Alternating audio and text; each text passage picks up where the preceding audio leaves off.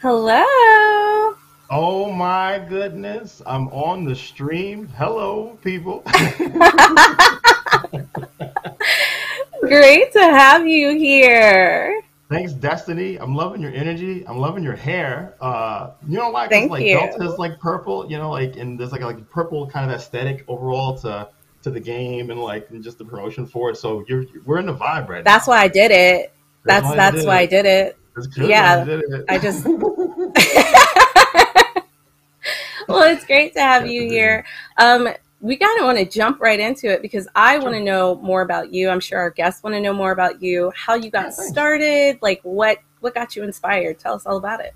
Oh man, um, I got I got I got started in games. So I've been making games for about five years now. Um, for full disclosure, I'm like an old man. I'm like 35. I got two kids, and I've got enough. Stop your mouth. I'm No. saying. I'm just saying it, because like I don't folks feel like oh he's making games for five years. What is he like 24? Like nah, homie. I pay a lot in taxes every year. I'm an adult man. Um, but uh, but yeah, I got my start because um, at work one day, like a friend of mine had just mentioned that like I saw him kind of designing what looked like a game, and I was like, "How are you doing that?" Um, and he was like, "Oh, it's this thing called game engines um, that you can just use." And I was like, "What?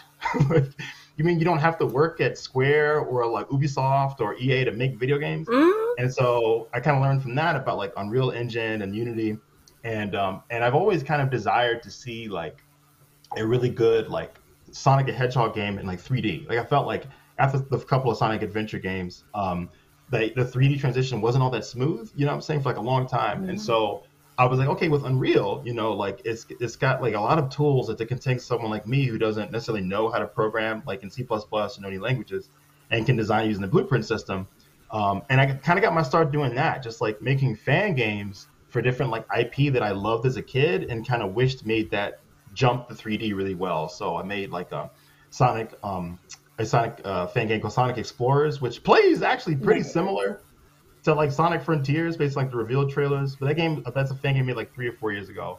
And then from there, it became I made like a Mega Man X fan game, um, which ultimately became Proto-Droid Delta, which we're working on now. Um, a Mega Man Legends fan game, and then last like an Ape Escape um, game called, called Tough Stuff. It's very silly. The Oh, is that's that cute. yeah. The idea is that you have these stuffed animals who become magically imbued and they become alive and they become aggressive. And so they're like tough Oh. stuffed animals. It's- it's I like that though. That's super cute. Yeah, so that's what I did. Um, and so yeah, and so that, that's kind of what got my start. That's how I got my start in making games, um, fan games, um, Unreal Engine blueprints, um, and just hoping, you know, just this desire or thought that I could make something that um, I hadn't yet seen made, and I was hoping that developers could make at some point. Yeah. No, I think that's incredible. And like the fact that you saw someone doing it and you were like, I'm just gonna jump on here and make games myself. Like I've Oh. always found that overwhelming, but like props to you because you you've I'm- made like several games and they I all I love all of the, the inspiration. You're no. appreciate Well. I mean, like, 'cause- We all got to I be a little bit a little bit yeah, there raw it on that. Yeah, all I gotta It's like normal people don't do this. Like normal people don't be like, oh, it's 2 a.m. Time to keep making this project. It's like normal people are on Netflix at 2 a.m. Normal people are sleeping at 2 a.m. uh, and so yeah, you got to be a little bit of a nut. Um, but it's a good nut. You know, it's like a macadamia Yo- nut. I have to ju- uh, macadamia nut. I had to I had to jump in real quick. I was about to Yeah, introduce you. I'm sorry, Justin. Yeah, no, say it's all good. Adam came in came in hot. Thank you guys for being so patient. It is amazing to have you. I know you have you have a, a, an announcement to make, and I Oh. think you should make that announcement on air. Oh man, Yeah. you're a good guy, Justin. So um, the long story short is, I recently signed a publishing deal with Humble Games. Protodroid Delta will be published by Humble Games. Uh, I had to keep quiet about that for a few days. It was really hard. like I was like avoiding Discord, avoiding like socials, so I didn't like slip up and pull a Tom Holland and like kind of spill the beans. Um, but yeah, yeah, Tom on Holland, I've worked on the game for like two oh two and a half years now, um, and just you know started with a Kickstarter, and then and then after um, Humble took really like really took the strong initiative to start the BGDF, the Black Game Developer Fund, being one of the first recipients of that was like you know just talking about to the moon. I was just like thrilled just with that. Um, but they continue to believe in the project and continue to support me, and I can't understate like the support just like Justin's been giving me all along the way. Like it's it's a lot of things happen. It's like you know you, you know that phrase is like if I see far, it's because I stand on the shoulders of giants. Well, I definitely am standing on like Justin's giant shoulders. You know what I'm saying? Himself, Tony Barnes. Um, you know what I'm saying? You know what I'm saying? Like uh, uh like Sean Alexander, like all the guys like on this like Discord we've got. Um, and even just to prop like propping me up and, and supporting and so it's like it's just been like a lot of sort of like very fortuitous things you know meeting john paulson you know he used to be with the organization now he supported and believed in it and yeah it was cool to see like what started as a fan project that i just really wanted to scratch a creative itch as his gained a following gained some professional support and now humble games is publishing it like I, I don't know it's like it's kind of like a fairy tale you know what i'm saying it's like i don't know i feel like it feels like a fairy tale i'm very happy this morning i'm like very happy You're you're always happy, man. Yeah, you're always know, happy. So I'm always happy, but like I'm like more happy today. You know what I'm saying? Like, but like now I'm as here. you should be. Welcome yeah, back, Derek. Welcome. Yeah, I'm back from the ether. I'm back from the ether to to, to say, uh, you know, let's let's get this, let's kick this game up. You know, um, I, I would be really interested to demonstrate some of Protodroid Delta uh, on the on the stream if we're ready to to jump into some of that. Oh yeah, I'd love to see that. Awesome. Um, before we go though, I want to talk a little bit about like the the Black Game Developer Fund, um, if we can, because I think it, it, it was very instrumental. You were instrumental in the Black Game Developer Fund, and I know that Destiny was about to introduce me as you know one of the advisors on it.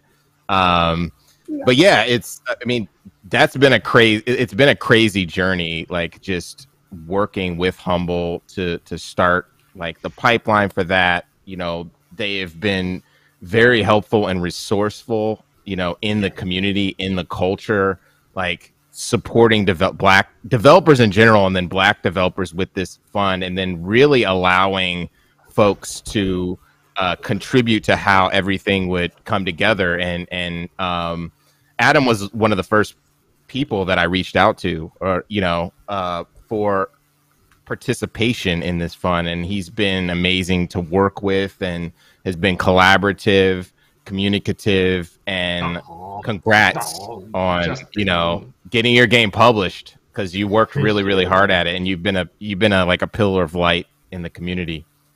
Oh man, this is such that was a, really sweet. What a warm show. Man, I appreciate you, Justin.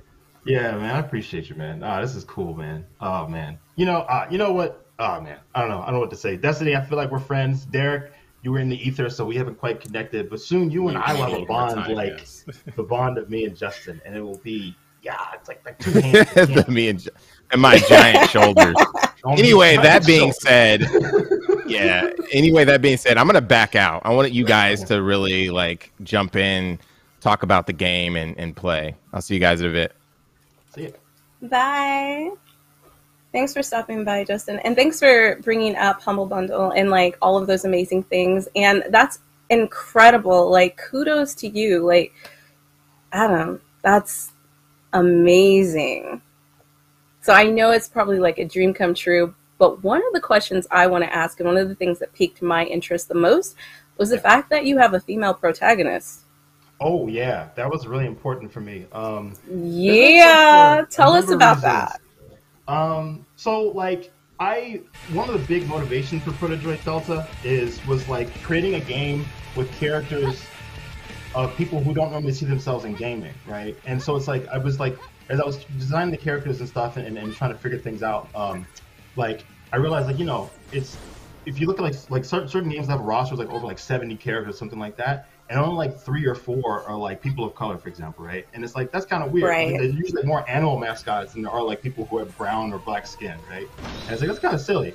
And then if you look at like, and I decided when making like a Mega Man inspired game, if you look at the vast history of like Mega Man games, it's like over 35 or 32 titles, um, and throughout like on hundreds of characters, and I think there's like three female characters. You know, it's like a very small subset, and it's like this kind of sucks. You know that like you have yeah, like so many characters, so many opportunities to show different types of perspectives, different like personalities, and it's just like you just dropping the ball. You know what I'm saying? Um, so for me, it was really important to create characters for folks who don't normally see themselves in gaming, and to put them front and, and, and center. You know, like one of the key aspects of the game is that the, the, the cast skews predominantly female. It's like six to five or six to four, if I remember correctly. Um, where like and like a lot of the key protagonists are are female. So it's like Delta is female robot, and then her creator is, is, is female. Her best friend Android, and I wanted to create a story where the central tension is usually um, not amongst a bunch of cliches, right? Where it's like oftentimes if you have female characters, the central story theme is around some male or like some love interest or some sort of like, Right. their, their values kind of Mhm. attached to how desirable they are to, to a guy. And I was like, no, it'd be cool if like it's just a couple of women who are beefing with each other. You know what I'm saying? Or people who have different perspectives on how to solve a problem um, and how they sort of like resolve that. You know. Um, and so yeah, it was really important for me to, to create again. This is that that line like create a game with characters for people who don't often see themselves in gaming. Um, and uh, and like and it- and that goes like a lot of ways. Like like for example, Dr. Shelton, she wears a headscarf because like you know I'm Muslim. I grew up around like Muslim women my entire life, and like um and that's kind of how they look. You know, that's like my mom right there. That's my aunt. um, uh, and you know, I grew up around like Latino folks, and you know, they're not often seen. We're not often seen as in like the lead roles in games. You look at like the Final Fantasies, or often games coming from like overseas and stuff, and the most will be is like a side character, or like maybe two side characters. You know what I'm saying? um, and that's Like been Barrett recently, from? Final Fantasy Yeah, like yeah, it's not like Barrett. It's like Barrett represents Yeah. all of the people of. All the black people, yeah. I gave y'all Just- Barrett now. that's Stop why. talking. That's why he's so buff. That's why he's so big. He's holding. He's holding all the. That's true. people. That's exactly. true. So like all of, all um, so yeah, I just wanted to get away from that, you know, and, and create an opportunity for for um for folks. So the cast has got like four or five black characters, got three Latino characters. Um, it's got an Asian female character, a white a male character, um, and um, yeah, and just like a good mix of stuff, you know. Um, and so yeah, that, that was really important to me. Oh, Derek, so you I'm got glad you hold did that. dash There we and then go. jump. Yep. There we go. I got Oh, he got it. So Don't judge me. Oh, and oh, Almost it's got it. okay. Uh, it's okay. It's okay. We're gonna get it on, the- on the next. One. I'm one. so glad Yeah. that you brought that Accepted up. my. Um, because I'm sorry, I I was listening to you play the game, and then I was like, "Don't backseat game, Destiny. Just let him do it. He can do it." But um, what I was gonna say is, I'm so glad that you brought that up, and that you are so inclusive with diversity. So, really quick question, slightly personal, but I know you said you have kids. Do you have girls? I have a daughter, and it's Uh, really cool. Here's what happens: I have a I have a daughter and a son, and I've been doing some like some like character designs, working with like my artist Blaze Malefica on on, on Twitter. She's been doing like the comic work, and my character illustrator Def Jews, um, at Def Jews on on Twitter and ArtStation. Um, and we did some like different designs for Delta and different hairstyles. Um, and then my daughter walks up to, to, to the to the to monitor and she's like, "Dada, me," and she's like, "Me, like that's that's me." And like, and that's, that's what I was trying to achieve with this is for people who don't see themselves, you know, front and center as like the main driver to see that and be like, "That's me." Um, and I almost teared up because it's like this is this is this is it. Like if, if the game doesn't if the game just dies tomorrow, like Of course. this is it. You know what I'm saying? I've achieved given your really something amazing that my daughter saw reason that you herself might enjoy the- and a video game character. Like you know what I'm saying? Um, that I'm committing so much of my time to that millions of people hopefully will see at some point. And she just saw it and said, "That's me." Um, so yeah, yeah, I got a daughter. No, that's incredible. I love Yeah, that thank you for sharing because that. growing up, I I um I realized that my favorite characters were like characters that look kind of like me but weren't really like me because Right, we just didn't right. have that. We didn't have that um at all. So I was like, oh, my favorite character is Jasmine, and then like the next Darkest Princess that came out was Pocahontas. So that was my favorite Right, character. You know what I mean? Until we got to Tiana. You know what I'm saying? yeah. But no, um, another question I wanted to ask, and then I'm going to throw it to Derek, is I love you kind of talked about it, and I'm I'm assuming that some of the um, cultures that inspired the look of the area comes from the people that you've grown up around and, and, and being Muslim, because you can definitely tell there's like a, a very special aesthetic to Yeah. the environment. Oh yeah. Can Yeah, you talk a little yeah. bit about that? Excellent. Yeah, so like I stumbled upon this thing called solar punk, and that and I just ran with that. So like as I'm designing the game, I'm thinking to myself, it's got to be unique, right? It can't just be generic sci-fi kind of future setting. Um, and so I'm going on Pinterest and I suddenly see like what looks literally um, a concept art that literally designed this stage. Um, it's a piece by Stephen Wong on ArtStation, um, and it's called like the Great Solar Bridge, right? um, or the Solar Punk Bridge, he called it. And then I found about like this comp- art competition that um, Adam Hawk did called Solar Punk Art Challenge, where it's like literally the opposite of like cyberpunk stuff. It's like a future in which like technology and, and people have grown together in harmony, and like you see like this wonderful blend of like like nature, natural elements, and tech, um, all bolstered by like renewable energy and like a, like a hopeful, more pleasant kind of future. So that, that just resonated with me, and I was like, there's so many games where it's like the setting is always like it's a dystopia, the world sucks, yeah. everyone's in debt. You know what I'm saying? It's like yeah. all of humanity's dead except you and your cousin. You know, it's like, uh, man, that's sad. Like, is that the only vision of the future that we have? Like, there's no other like interpretation of the future might be. Um, and so that kind of drove things. On top of that, like, I've always kind of like thought it was cool when characters were just like, it, it is like, like who can use like long flowing clo- clothing as like a tapestry, like like a way of expressing themselves. And I find very often in games, um, particularly unfortunately, like female characters, they go the opposite direction. It's like you'll have a guy who's got like yeah. armor, like he's even his eyebrows are armored, and then you got a female character yep. who's like literally her her chest is out and stuff, and it's like out, out for everybody to see. It's like fanfare. You're gonna, you're gonna fight a war like that? Like you go, you go in a battle like that?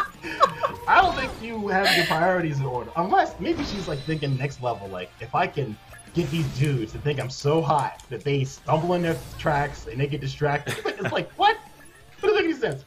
So anyways, I don't think that battle um, tactic works in the field. I don't think it's that so I wanted to design characters with that in mind. That like you know how can you design characters who like where like their their their clothing there is like a form of their expression, like a part of who they are, and, and really pays a nod to sort of like old world kind of like like traditions and and and and, um, and cultures and stuff. And so yeah, a lot of the characters. That was a big point. Like they all wear like long, flowing, colorful, vibrant, um, like like color clothing, which pays homage to different traditions and different cultures. Um, yeah, and it was just really that was really important to me too. Like to make it look great. You know, what I'm saying um, in in that respect. It does. It looks amazing, and honestly, like it still looks feminine. Do you know what I mean? Like she's still yeah. like even she's not showing a lot, but she still looks very feminine and beautiful. And and I just love what you did with it. I'm I'm gonna like throw up the fact that you threw in purple. no, I'm oh yeah, yeah, yeah. Oh, Anyways, so here, okay, here's how I settle on purple. Okay, here's how I settle on purple, and maybe you'll think less of me than this by this, but it's okay. Um, I wanted to make a Mega Man X fan game, okay? Yes. And I wanted uh-huh. her to have the, the abilities of both X and Zero. X is blue, Red is zero. Blue, red, blue plus red makes purple. So she's got color theory. No, no, she's got a. That's fine. she's That's fine. I'm all about um, color theory. Yes. After X, and she's got a blade after zero, Buddy. so she embodies both of their abilities, and so that's why she's um, that's how that's why she is the way she is. She's purple. I can't and then I realized purple I worked really well with everything else. purple works really. That was a, that's an incredible reason. That's that's that's what's up. But all right, Derek, I'm going to throw it to you. I'm sure you have some questions. You know, I, I'm in here in the game. I, am like experiencing the gameplay firsthand, and so yeah, the first thing is I, I have to ask is, is the gameplay. You know, what what sort of uh, we, we've talked about Mega Man, we've talked about um, you know all these other aesthetics that brought into uh, building the project. What other what other parts? You know, uh, what's what else is that influence here that we might not know about?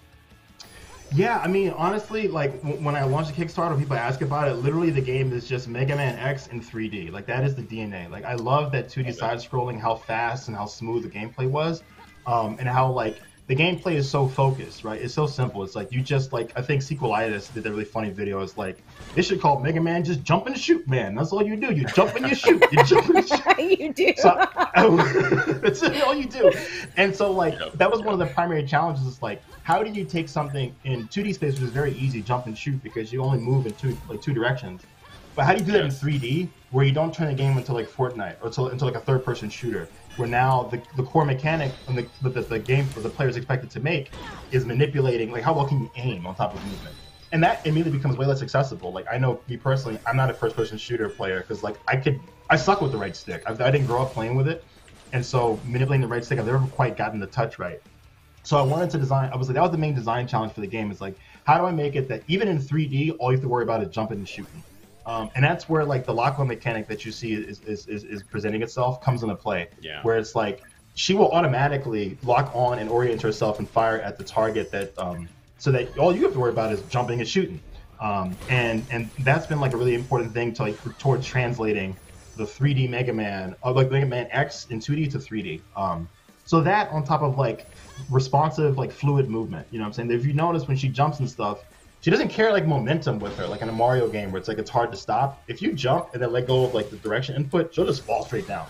Because that was always Right. really important with Mega Man is that like it's one to one movement. It's like you go where you want to go. Um, and when you do that, gameplay can become a lot more deliberate, a lot more. It feels more like um, rewarding because it's like she's doing exactly what I want to do. And if I messed up, that's because it wasn't because I was fighting physics. It's because I just didn't plan my my my my my my, my, my approach correctly, right? And so like taking from inspiration from games like Hollow Knight, Mega Man X, um, that really like really nailed that awesome feeling. Um, that that's like that's kind of what's going on under the hood and what's really important for the game.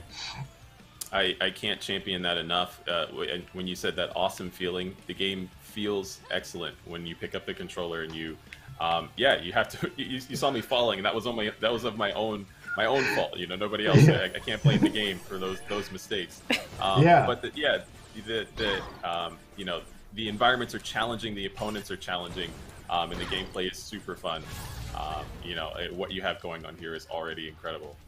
Appreciate it, man. Yeah, a little tip: if you can make it just past this next section of like platforming challenges, oh, good shot. So he, if you can make it just past it, there's a, there's a checkpoint, so you won't get reset to the beginning. Um, so there's an enemy here.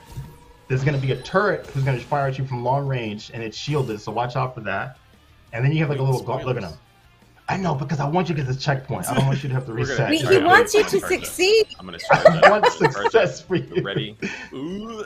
Remember, he shoots three times. One, two, three, and then you can. Oh, you got this. Oh, here we go. I love that. I love, I love the variety of the enemies too. Like you, you, you get adapted to you, or you, sorry, you adapt to the the play of say uh, one enemy, and then another one shows up. Um, ooh, Oh, We got uh, this. yes. Nice. Nice.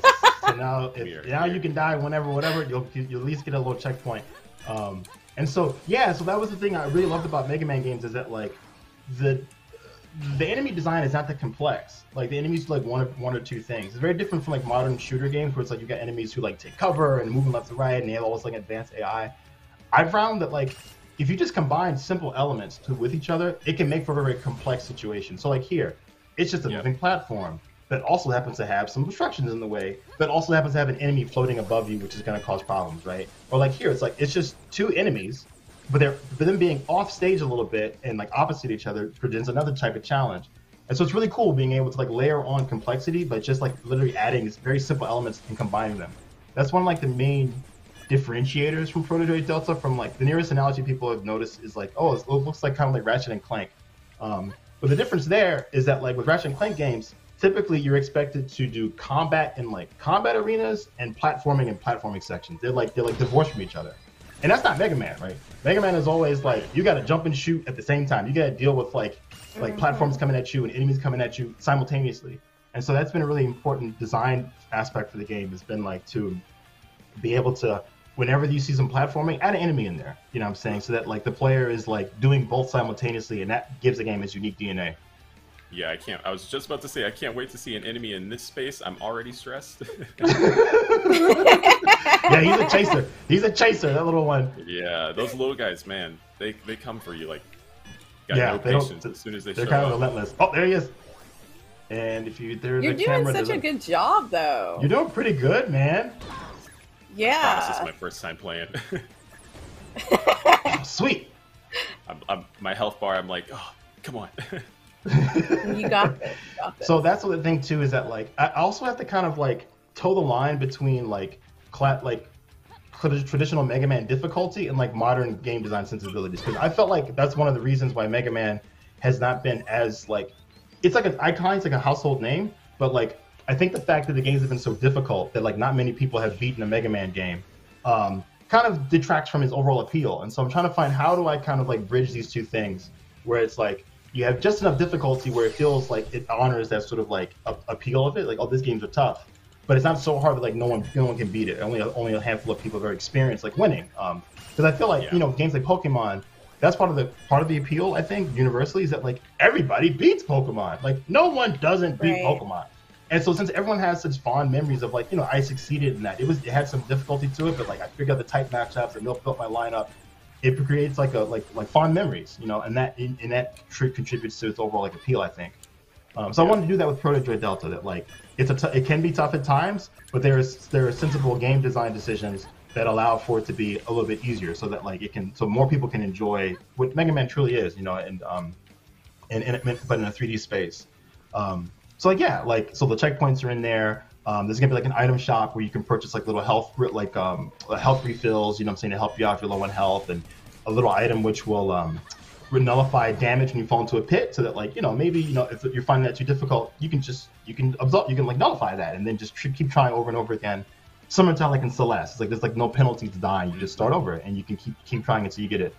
Um, so like yeah, just a lot in terms of like making the games accessible um, and modernizing, like right. and, and, not, and not repeating some of the same kind of like um, things that kind of held back uh, previous like similar titles.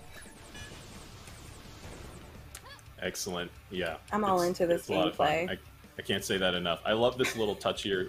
so you know, earlier in the game, I, I spent this time navigating these um, these rotating objects, and this right. last one here rotates faster than the others which yeah, exactly. uh, you know proved itself to be an unexpected surprise. So uh, yeah, it's those it's those little nuanced nuanced adjustments that I think are really okay. cool. So turn around. So I feel like you have to, yeah, you have to go through yeah. there again. Yes. Yeah. So you look uh, okay, dash jump again. to clear it. Yep. Yep. All right. But it's only there for a little bit, right? So you okay. Gotta yeah. You gotta do the dash. Woo! Oh. Yeah. There we go. Right. No, this makes me. Good job, Derek. I probably wouldn't have made it that far. Mad, mad proud of you. I can't wait to play this game. I'm serious. Yeah. I cannot wait to play it. It yeah, definitely so brings back like nostalgic feelings of when I used to play video games with my brother and stuff. yes. That is yeah, that's that's the goal right there. Um, yeah, the, the target release date is uh, Q1 2023. Um, and with the when with the humble publishing deal, like that's it's been such a huge boom because now I, haven't mentioned this before, but like I don't work full time in games. Like I work full time as like a like an engineer, like for for like mechanical engineer for a company. Um, and this is all like like a side project, sort of like just a hobby, like a creative passion of mine. Um, but with the humble support, I'm now able to like hire like set teams like level designers and environment artists and programmers to sort of round this game out. So it's like everything you see here, I designed and programmed like myself um, and, and built the, the art I was able to with the BGDF funds hire artists to install like this art and, and put together this level. And my friend Armando Navarrete, who, who did the, the initial like level design for these couple stages. Um, but now with this like publishing support, like we can now finish the game out and add like like all the rest of the levels, um, finish up with the bosses and sub bosses. The game's in a pretty good state though. Right now, it is playable start to finish, including the bosses. Um, what's missing is like animations and um, some tweaks to the AI, beha- the behavior of the AI. This is a crazy section, by the way. Like, uh, it's a wild. when the when the lasers started intersecting, I was like, "I'm oh, here we go." ah. You got a dash jump. My, ah. Yeah, I forgot about the dash. Um, so yeah, so yeah, I'm really so yeah, Q1 2023. Um, and uh, yeah, now we've got the support that I need to sort of round this project out. Um, and yeah, I just couldn't be more thrilled. It's like a been a tough road, um, but seeing the positive reaction from folks like yourself, Destiny, and Derek, and and just like like the, the community in general has been like really like motivating. You know, people people like what they see. You know, they like what they see, and I, and I like that they like that. I mean, like for this to be like a side project and a hobby, like it's very well polished. so when you were like, "Yeah, I don't do this full time. I just, you know, you know, I just do this when I have some free time." I'm like.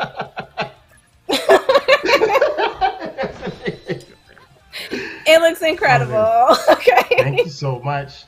I don't. So here's the thing. There's a lot of stuff in the game that I don't know if Derek will be able to showcase. Um, because ah, see, I want you to get to the end of this level because there's a cool cutscene where you meet like another character. I'll say, um, but I'm not sure how much longer we have on the stream because like um, it'd be cool to kind of see that. But if we can't, it'd be nice to kind of showcase some of like what else is in the game. But um, so you guys let me know if uh, if you think we've got the wherewithal. Oh, you're gonna have to like those guys. You got to yeah. stun them and then get around them. So like the trick you know, is the way I knew that, and I was and I, I said to myself, we're gonna hit him we're gonna we're gonna and then we're gonna move on and still still bumped into him.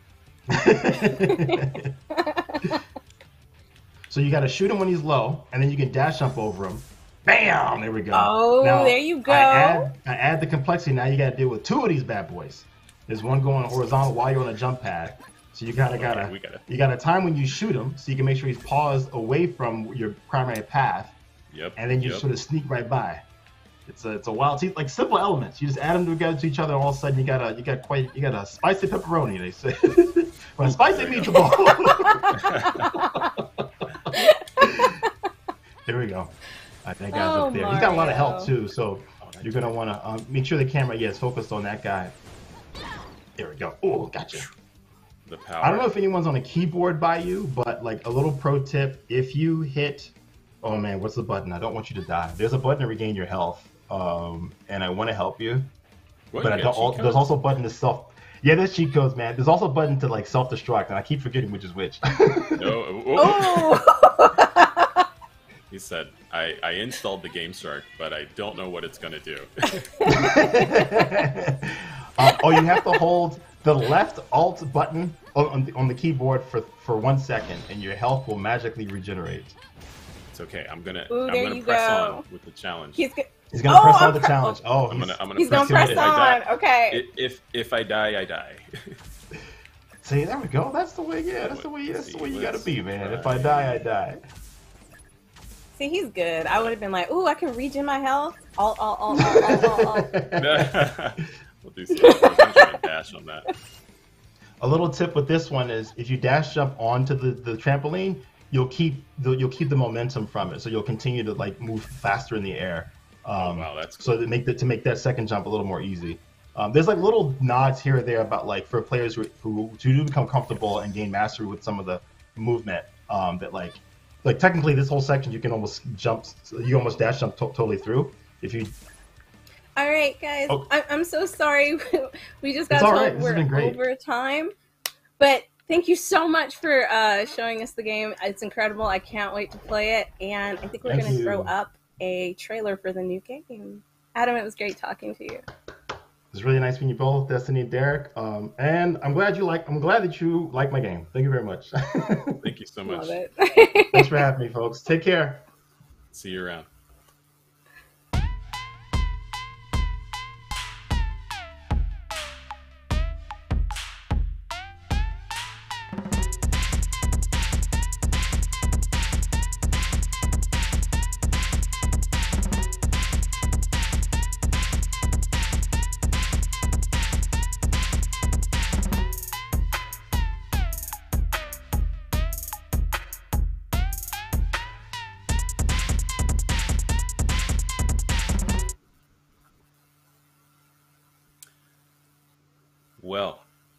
Next guest we have up is Scott Popular. Uh, you just saw the trailer for Ninja Man, uh, and I, I, I think we, we we need to go right into talking to Scott and hear about uh, what's at play with Ninja Man. And so, uh, Scott, are you with us? I'm I'm I'm here. I hear you. Can you hear me? Are we good? I can hear you. I yeah, hear we can hear see you. How are you doing Gang. today? Gang gang. I'm doing fantastic. Fantastic. How are you guys doing? Uh, it's excellent. We're excellent. We- good. We're talking about games. Everything's excellent. Yeah, Yeah. man. Congrats to Adam. Congrats to Adam. You know, black excellence Absolutely. at all times. Shout out to Adam. Uh-huh. But y- y- we, we we want to give you your spotlight. We want to give you your spotlight too. Shout Oh. outs to Adam, but also shout outs to you, Scott. Not only not only do you have a game to share with us, uh, but, but please tell us about your your background. Uh, tell us where you are calling in from. Uh, you know, please don't, don't miss any details. Yeah. so we're gonna do that.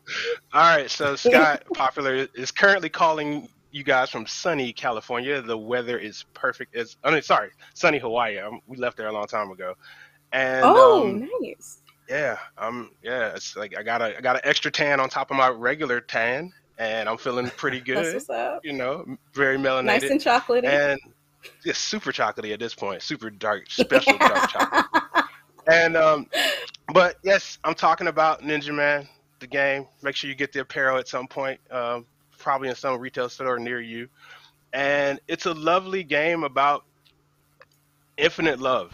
Like just imagine if you had a ninja best friend who could just throw love infinitely at the opposition or people. Because I feel like there's been a lot of sadness in the world lately.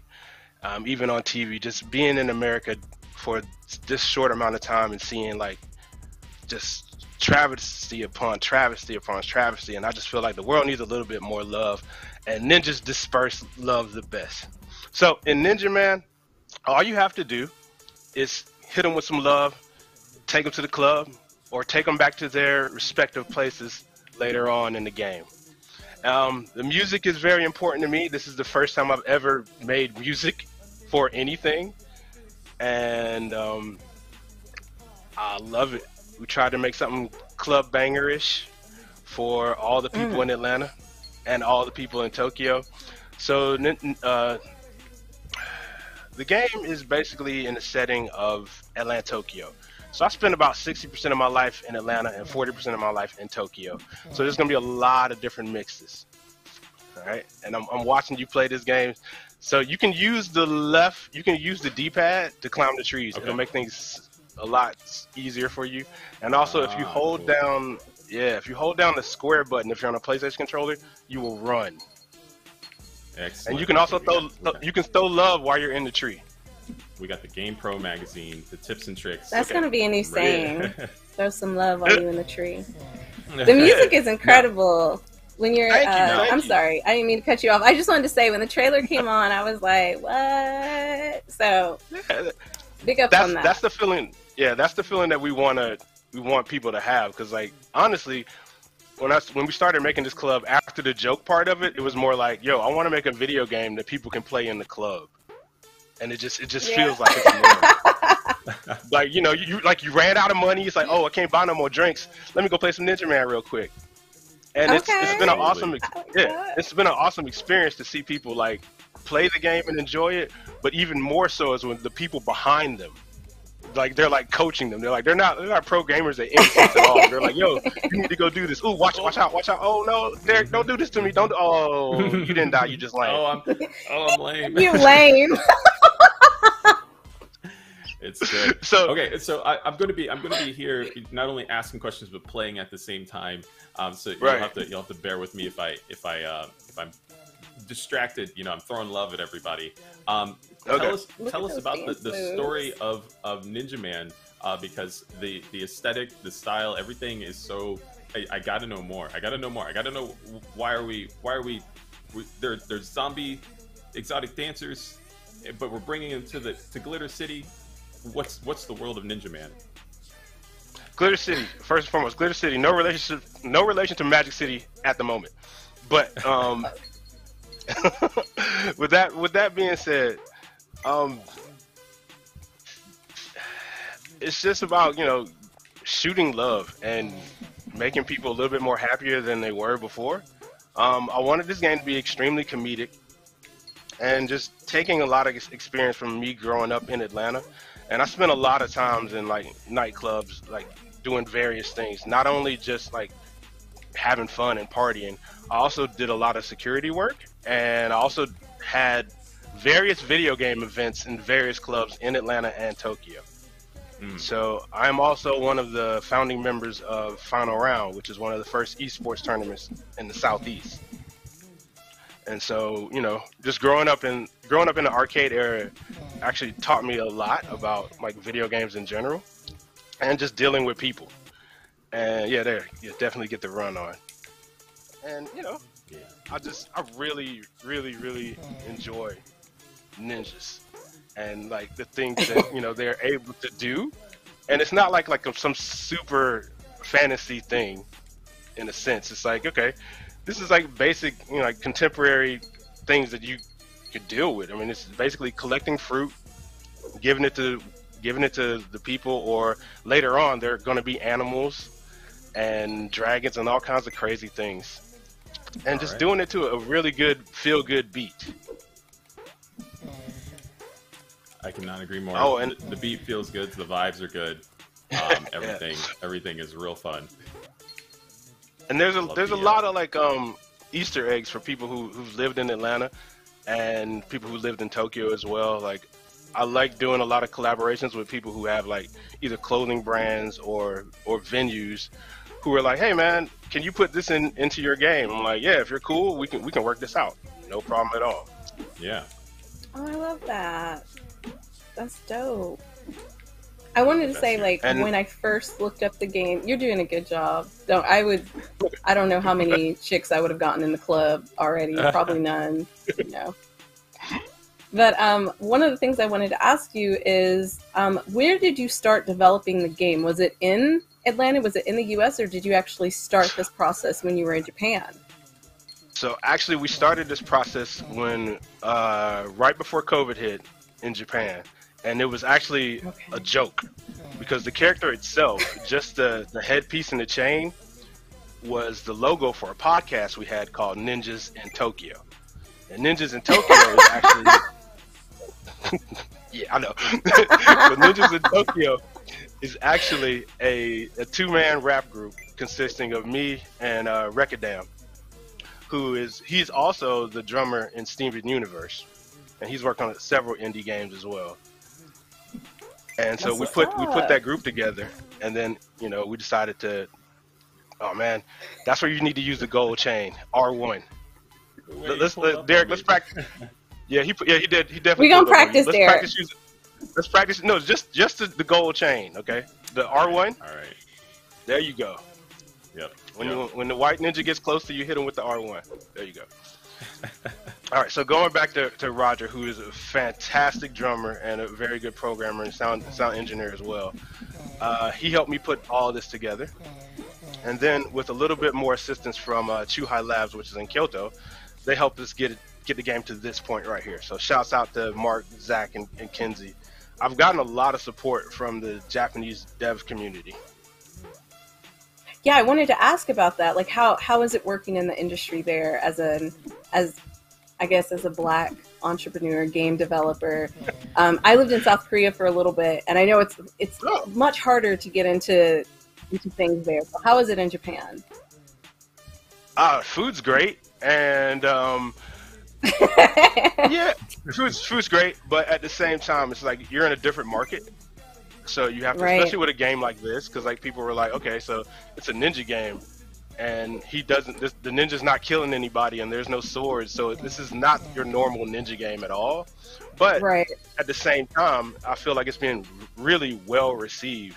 Uh, when we did the art shows, those were actually my, my favorite because like I got like I was had the chance for to see like Japanese people, especially Japanese women who have no well, I wouldn't say they have no idea, but they, they don't they're not really familiar with the whole club culture. And they just look at the game and they're like, "Oh, this is so cute! Like the ninja's giving them fruits and he's taking them back to these places." And that's it on the surface level, and they just enjoy it. Word, I mean, it- word. It looks fun, but like when I saw it, I immediately laughed because I was like, "This is hilarious!" Oh, like, Yeah. and then when I read the description, I was like, "Okay, I see what we're doing here." I love that you've combined two cultures, and it it's seamless. Like even though you're like, "Oh, it was kind of a joke," this it works really well. And I think it speaks to your creativity, like what you've done here. Even though you thought it was a joke at first, like look what you've created so far. This is incredible. Thank you, thank you. All right, Could not Derek. agree There's there's nothing. That, that was just, that's the Easter egg. There's nothing up here, but thank you for getting there. I saw it. I saw it on the side. I had to. I had to explore Yeah, it. Thank you. Yeah, to, yeah, to check you. it out. Actually, actually, Yeah. in the in the black disc where you are right now, that's uh, that's Roger. So I've I've made it a point to put in everybody who's helped me work on this game. They're in the game somewhere, like as an Aw. Easter egg. Excellent. So th- they know Excellent. exactly like like where they are in the game, and it's like it's been this game has been like really important to me because like a couple of my friends died during this making this game and they're in the game now so it's kind of like Oh, I'm so You know. sorry. no i mean you know it, it happens to everyone but i'm just glad that these people were a part of my life and they actually helped me make this game And it's So, at the moment to very least- to commemorate them in that way. yeah yeah yeah so, so they're, they're definitely going to stay in they're not being taken out Absolutely. and oh there are black women in this game just to let you know I was I wasn't gonna was- ask. I mean, I was wondering, but I was like, I wasn't gonna ask though. I wasn't going to ask. I wasn't trying to put anybody on the spot. I was yeah, you know, I wasn't trying to like throw you under the bus or anything. I was just like, I'm gonna wait. uh, uh, uh, that's, that's that's definitely like that was the first thing my sister said when she played this game. She was just like, "There's no like you have to put more black women in the game," and I was like, "Okay, no problem, I got that." yes, sir. The, the cherries are very. Kudos there to her. That's that's that's it. That's what's up, sis.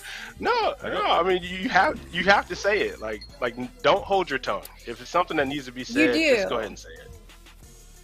You do, especially because you are, you know, a black creator. So this is like our moment in time to see ourselves um, in spaces that we aren't normally asked to be in, which is why Black Voices Right. in Gaming is so incredibly important, right? So I love that your sister said that. I wasn't gonna say anything until like after I was gonna hit you up on Discord and be like, yeah, yeah, like notes. yeah, You know, slide to my DM, it like, played nice, Scott, but um, talk." the, the hair flip and the and the sucking of the teeth. Okay. Absolutely. Absolutely. Oops. all right. Pull that back Well, Yeah. if people wanted to if people wanted to find more about you and your game, can you plug your socials? Uh, definitely. Everything at, at Scott Popular. So that's Twitter, Facebook, uh, Twitter, Facebook, and Instagram.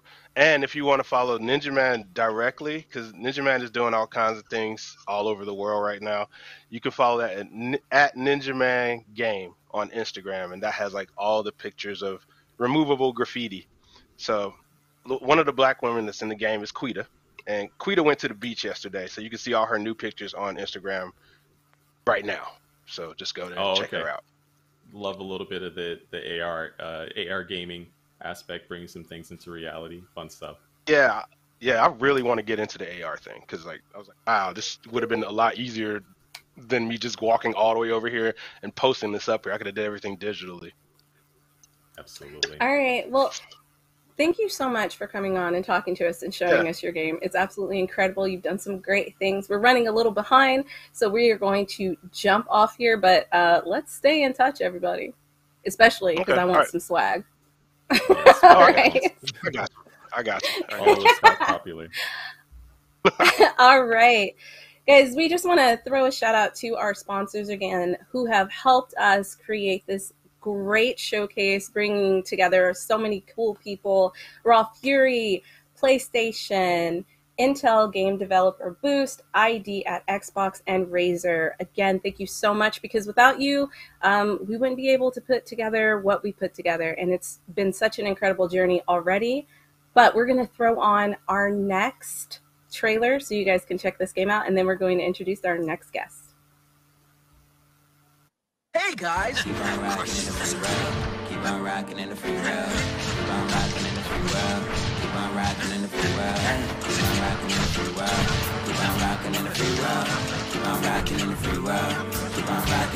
Uh, yeah, go ahead, go and do what you want. Live free, do what you want. Ride around town, ride a bike, son. Stay carefree, live like the sun. Man, I know all the times they putting you down. I know it take a lot just to put up a smile, but for now, do things you ain't did in a while. Blue dress, ooh girl, I'm feeling your style. We got the, we got to get it. We on that, we about to shut down the city. We made the, we find the force in our system. We love the weed on the cock of the vision. We don't got time to oh, Yo, that was Love dope. Yes. Like oh, the music blow out was the great. speakers with it. Yeah, it was Yes. excellent. All right, we want to bring Beloved to the screen to talk more about his game. What is up, Beloved? Hey, what's up, y'all? How you guys doing? Good. How are you doing? Good. I'm So pretty good. I'm pretty After good. listening to the It's a pretty good day out here. So Excellent. Excellent. Where are you Uh, at? I'm based in Portland, Oregon. Uh, kind of, it's a nice day, but you know, the weather's always kind of rainy out here, so we're big chilling. I didn't mean to cut you off, Derek. Go ahead. Oh no, we're good. I was I'm only going to provide the the useful disclaimer that I'm going to try my best to ask questions and play games at the same time. So you know, don't judge me if I don't do well. I always judge. You've so been you've been killing it. Yeah, I, Ninja, You've been killing Ninja it. Man You're good. Me You're lame. I got good. called, I got called lame three times in Ninja Man. So you know we're we're gonna we're gonna we're gonna dive in. But please, I'm, I'm so pleased to meet. I'm so pleased to to uh, to dive into Five Force Fighters. So um, w- we would love to hear more about about what we're uh, going to be showing here. Yeah. Tell us about Okay, first. uh, tell us a little bit about yourself before you jump into the game. I want to know a little bit about you, and then we're going to jump into more about the game. So, how'd you get started? Uh, What's the inspiration behind it? Okay, yeah, for sure. So I kind of got started when I was around 19 years old. Uh, a lot of stuff was happening at that time. I just like it was kind of a dark time. I'm the best. Going to college full time, was working full time.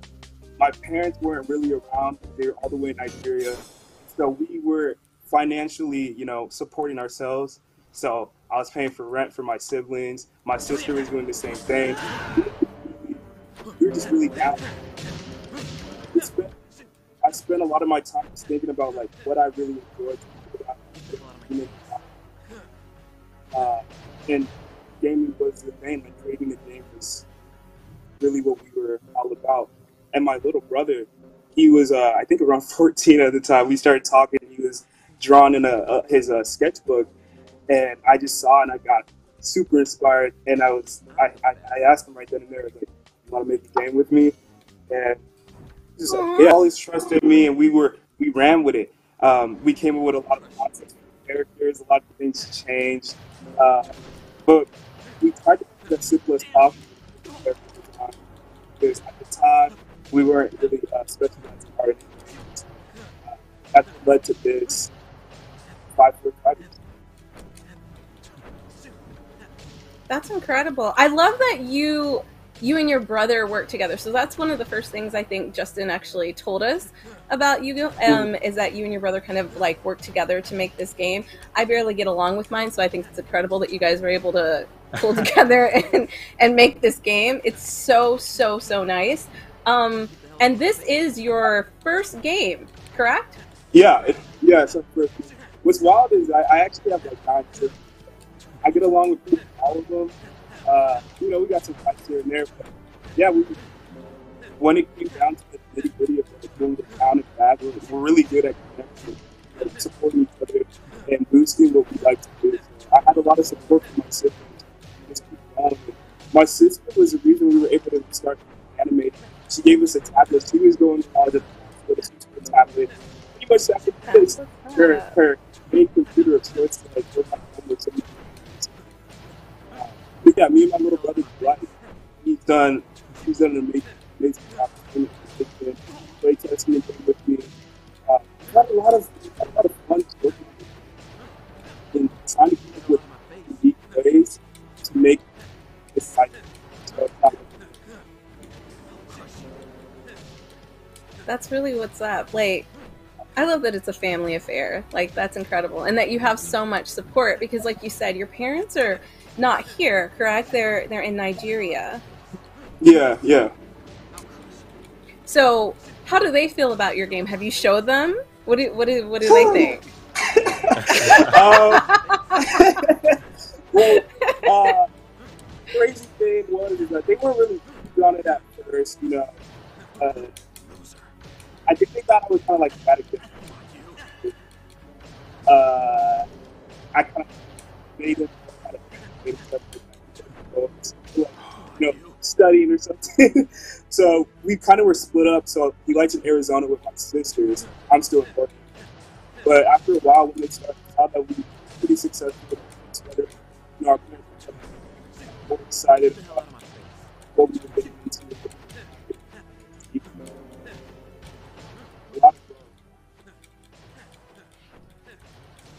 It looks so good. And I I'm I'm sure this goes without saying. Like everybody watching is like, obviously this is where they get their inspiration from. But for those of you who don't, like myself, know for sure where you got your inspiration from for the game. Like, can you tell me what inspired you? I, I get like some Street Fighter in here, some some Dark Stalkers, you know. But like, Good have you always there. been into fighting games and like combos and stuff like that?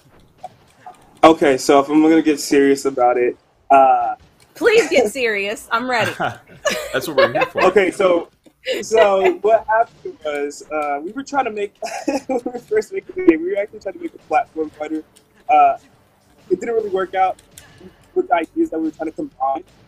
So we just started putting things together. There was no there was no direct inspiration from Boondocks. There was no direct inspiration from uh, it Street Fighter. It all just kind of meshed you just subconsciously start thinking about what you're doing, create. Okay. Right. It's funny, get a similar uh, situation. I mean, I've played a ton of fighting games. That's what I said. It's like it all comes together at some point. Have your own idea, but those things are already. Uh, but the direct inspiration, I guess, would be this fighting game. It's actually not even official fighting game. Uh, Hyper Dragon by Team like. And we played it a lot. Yeah. that's that's where we got a lot of the inspiration. Even to, I guess that indirectly was actually uh, and. Well, it looks good. It looks really good. It I- is really challenging. Did you just? Did you beat him up? With, Oh. You won, right? You won. That was you, I'm- right? I'm, I'm Pebbles. I'm on the left. Yeah. Okay, Yeah, he's most probably- def, most def. All right. I wanted to Pebbles. be Uh, the game- like, you can't win the next. You can't lose the next one. You got it. I don't know. I'm getting bodied right now. Yeah, the fight was actually tough. I can't lie. So a lot of the things about this game that we really tried doing that was different. There's a small bar at the bottom called the force meter, uh, and burn the meter to do all types of all types of attacks. So that was the main difference from most fighting. games. Usually conserve to the attacks. Pull off special, we Wow. try to take that convention. I want to thank you for showing us your game. It's absolutely incredible. You and your brother have done an amazing job. If people want to find out more about you, more about the game, can you plug your socials? And, and why can't I talk today? Can you plug your socials so we know where to find you? Yeah, um, we're at Kaizen Creed on Twitter, Instagram, eh, Tumblr, I guess. I, I made one a while ago. YouTube, so you can find us there. Oh, and in TikTok. So yeah, you can find us there on those social media accounts.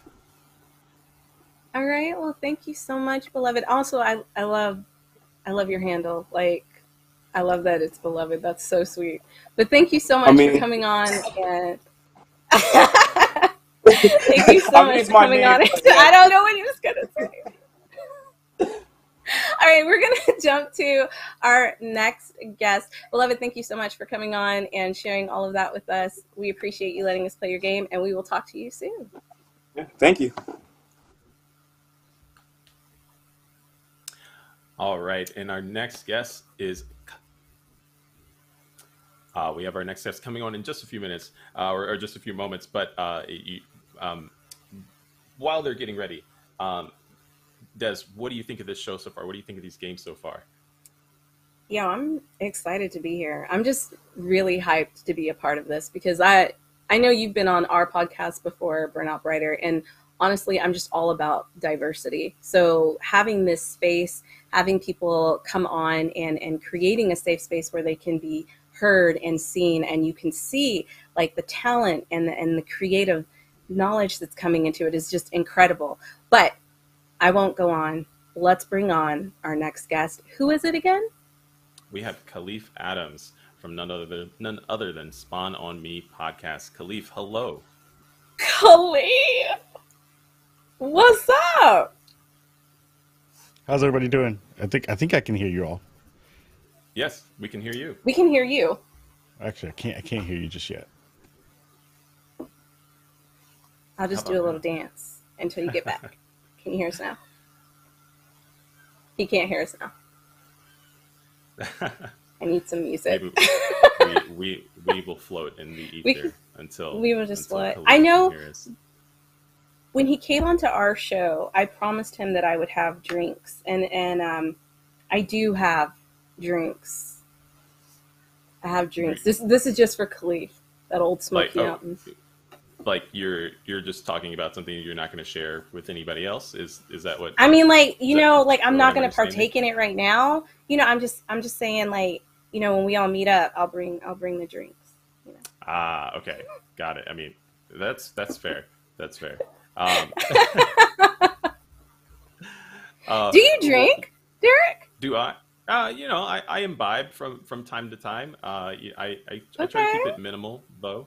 Um, you know, I uh, when I when I lose, uh, you know, when I lose control, I'd say control of my my uh, my spatial awareness. That's I, I don't like being in that state, so I don't stay in it very often. No, I Uh, understand. I Yeah, I tried to articulate that the best way that I could, and it, it just that's about how I No, that was when I good. have too many drinks. Yeah. I I understood what you were saying. I'm sure everybody else understood what you were saying, so it's fine.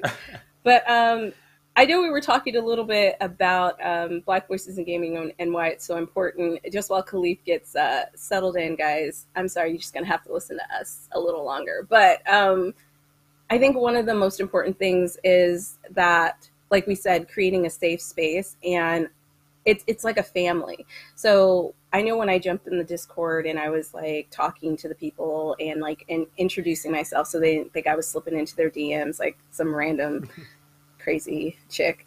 Um, everybody's so friendly, and that's really really nice because there's this idea that like black folks are not friendly. Do you know what I mean? And I think like being in uh, a group of people who are like amazingly talented, but also um, you see the interaction between uh, Justin and our first guest. You see how they're just excited. Um, how there's a game that's about spreading love. Do you know what I mean? Being a ninja and spreading love. And I love And that we're able chain. to showcase that here. And wearing a, a gold chain. Listen, the gold chain was the most important part. I don't know how I forgot that. But uh, I think that's incredible. And um, I'm so happy that we get to be a part of it. You know? Absolutely. You know, if there's anything I could extract from that, what I heard was, uh, you know, knocking down stigmatisms and then building camaraderie, connections between other people, and I think that that really uh, that really hits the nail. Uh, the community within Black Voices in Gaming has been one that not only serves me, but I, I'm, I'm a part of it as well. You know, and, and being here with you today and, and everybody who's tuning in is uh, one of my favorite things about it. Uh, increasing the visibility of uh, black-led games is really important. This extends to um, other diverse communities, the BIPOC community, LGBTQIA. But today we are championing Black voices, and so uh, absolutely, I, I can't say it enough uh, to to check out the games that you've seen so far. We do have another one a little bit later, but uh, be sure to follow up on on the titles that you've seen to wishlist them and support the developers. And if you out there are a, a burgeoning developer or seeking a, a path to get involved in games, absolutely connect with this community because there's a lot of people within here waiting to support you. That's That what's good. up. That was- that was- really good. That was That was that, that- was, that nice. but um, Yes. I'm not sure if people know this, but you were also one of the uh, interviewees on the show at one point in time, talking about something that you worked on, right? That's right. Uh, we are going to see a, a, a tiny piece of that a little later. Um, but yes, I had the pleasure of, of being a part of uh, Black Voices in Gaming. Uh, I think it was last year, and I got a cool T-shirt that my that my stepson now wears to school to you know be like, oh look at my look at these games. uh, it's excellent. Um, you know, but uh, yeah, you know, I, I at that time I shared um, some things from from Onsen Master, uh, and and like I said, we'll see a little bit more uh, today. All right, All awesome. right, I can hear you now. Welcome back. What's good, everybody? How's everybody doing? Sorry for the Hey, hey. The the issues on on things, but you know that's the way that it, it happens. fine. You That's know, the way we know it happens. I don't know We've all been doing this so earlier, I long. I, I brought the drinks, Kahlief. I brought the drinks. Did you bring your drink? I have I have uh I have cherry water in here. That better be Some cherry water, son. cherry water. Come on. You know, you get those syrups that you get when you go to the store and you get the when you make snow cones. I got some of those, Yeah. and I put some fizzy water in here. This helps me not Oh, drink soda. okay. So I'm trying. I'm trying to be That's fancy. I had my pinky up when I did it. It was beautiful. Oh, Was it- okay, okay, okay. Was there a memo sent out about these drinks? I'm going to keep this real brief because we have questions to ask you, Kahlief. But did, did y'all have like a drink memo? I, I have coffee. That's all I have. I didn't know. Tracy came through with the drinks, and I was like, I, I got to find a glass. I have a glass right here somewhere. I know I got something. All right. Uh, I didn't right. want to be left out. Um, but thank thank you so much for having me. Thank you for so much for pushing through the technical issues. Uh, Absolutely, appreciate it. we No appreciate you being here. Kahlief, is uh, if, if if we could jump right into it, if you could share with our audience who you are and, and what it is that you're doing with Spawn on Me podcast. Yeah, uh, my name is Kahlief Adams. I run the Spawn on Me podcast. I like to call us the premier podcast spotlighting people of color in the video game industry. We've been doing this for almost a decade now. Uh, we just had our ninth year anniversary back in January of this year. Uh, and yeah, I think I think you come to our show to talk about all the things that you don't hear on other podcasts around blackness, around culture, around you know about what our con- uh, contributions are to the space. Uh, and hopefully we do that in a, in a smart and, and fun way that, that makes you want to kind of dig into it and be a part of our Brucago uh, uh, residency here uh, at Spawn on Me. Now, now for the maybe the new listeners, can you break down what Brucago is? Because I, I don't know if you know, I've been listening to Spawn on Me for a long time. I know what that is. Maybe some people at home don't know what that is. Yeah, maybe some people don't know. Not I me, mean, if y'all don't know, what's up with that? Y'all need to get up on on. Uh, no, I'm just playing. But uh, when we first started the show, uh, it was it was basically where we uh, started it from. So I was in Brooklyn. Uh, my my my co-founder Cicero Holmes was in Chicago. Uh, so we decided to mash those two up and, and make our faux land in which Spawn on Me resides, which is Brucago. So folks are like "Bro- broccoli. I don't know what y'all. Why are you promoting broccoli like this? uh, I was like, no, it's Chicago and Brooklyn mixed together. It's, it's, it's Brucago, and people are like, Yeah, I oh, mean, now I yeah, get it. You should be able to extract it, you know, once you hear it. But we're covering the bases just in case. Uh, how did Spawn on Me podcast get started?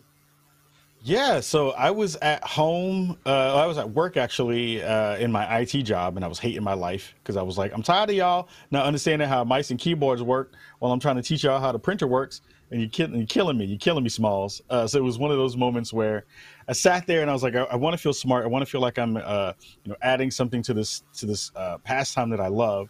Uh, so he started writing, uh, you know, way back in the day on, on a blog called the Spawn Point blog, um, and then uh, decided to sunset that a couple years afterwards and start a podcast. I was a big fan of folks like Giant Bomb and the One Up Show and all those things back in the day, and said, you know, there's no space that has us in it. I don't see any black folks doing this work in, in that way and, and kind of showcasing and talking about what we bring to, to, to the gaming space, even though I know we're all playing. I know we are folks who are doing this work and, and, and being in those spaces. So got on got on uh, uh, a game of 2K, uh, was playing and, and ran into this cat while I was streaming it. And he's like, Hey, I saw that you write. And I, you know, we've been thinking about wanting to do some video game content. Let's, let's get together and, and do something and, and see what we can do. Um, and, and that's how Spawn on Me kind of came together. It was me and C uh, coming together, thinking about what the angles would be for that conversation and how we could bridge it out. And yeah, like nine years later, it's still going strong and, and making things happen. That's uh, that's an amazing Congratulations story. on and I nine love how, years. love how you Yeah. came together. Thank That's you very much. Um, y- okay, so I mean, now we're we're nine years later. How do you how do you feel about it all, in, in, in contributing to a space that is that is bringing mm-hmm. content to to Black voices, and you being a part of that space as well?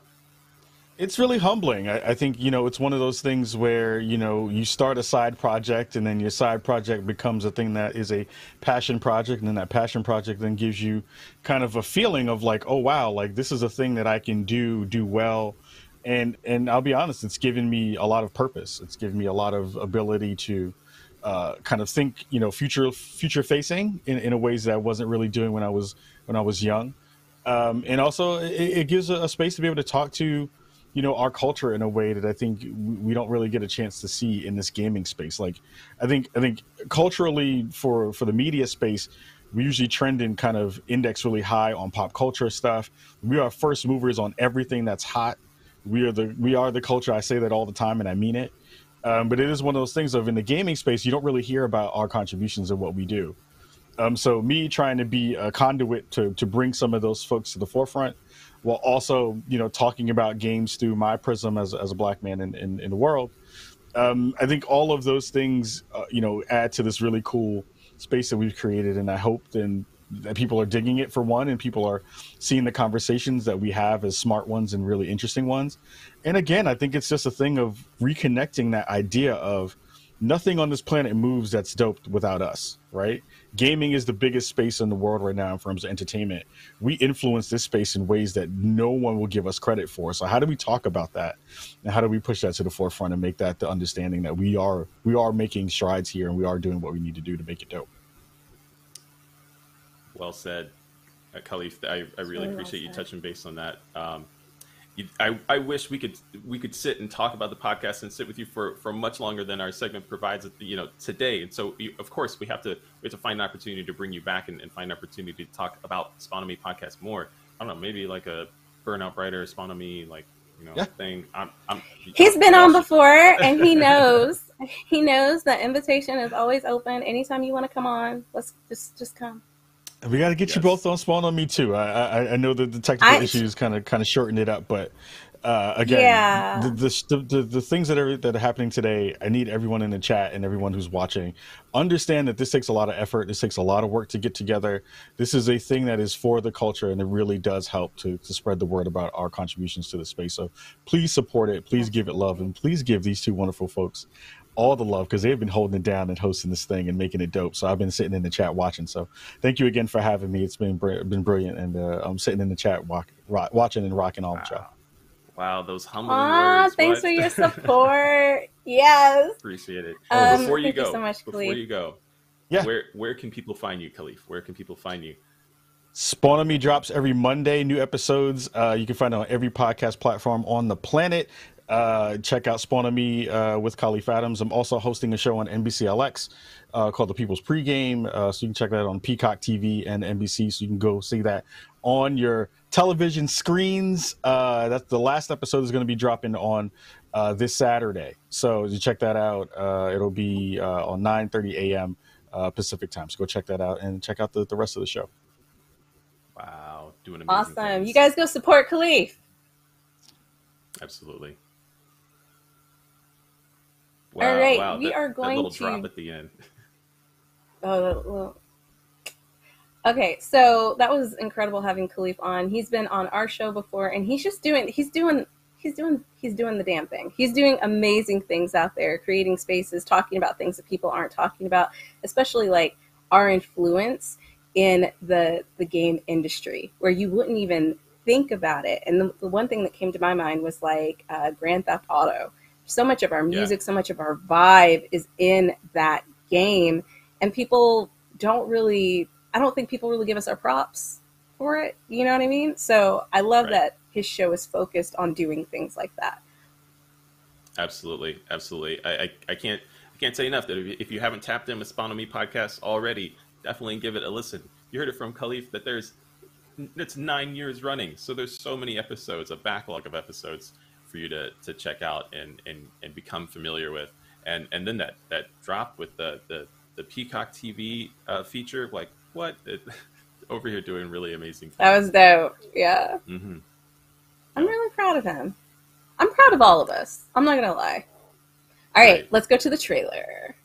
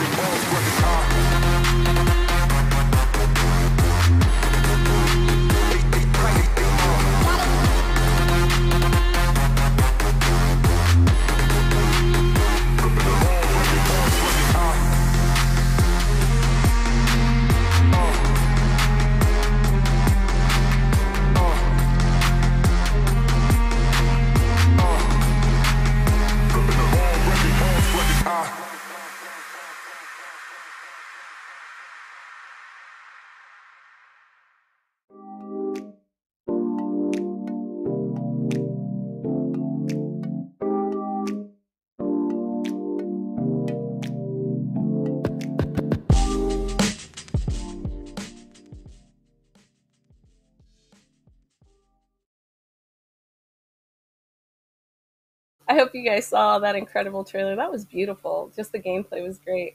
But let's go ahead and bring on our next guest, Jordan Scott, so he can tell us more about his game. Yes, yes, and I'll be on the ones and twos with the controller. Hello, Jordan. What's up? Oh, I can't hear doing? you. Hold on. Oh, there you go. I Oh, see that Attack hello? on Titan poster in the background. wow, but you don't see the Hunter x Hunter poster. I see how it is. only his, only his like hand. I wasn't sure what that was.